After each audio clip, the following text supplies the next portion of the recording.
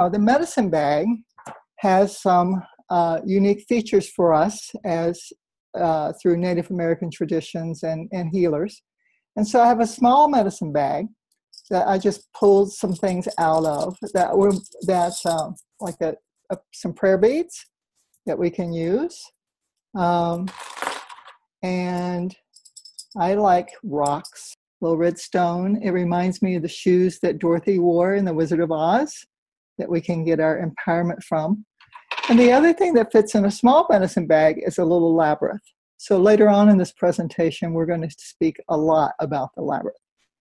So the walk into the labyrinth, we call that the walk of release.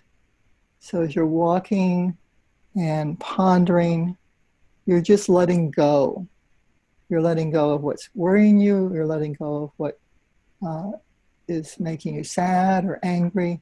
You know, the process of doing this takes our brain from the right to the left to the right and left, and it it builds kind of a certain rhythm. That there's something about the math, there's something about the mystery, there's something about this whole process that as you walk it with your finger and find your way to the center, whether you're doing it with your finger or with your feet, that's really helpful. Your mind is clear because you've done that walking. You're able to see things that mm. were there all along, but you weren't aware of them.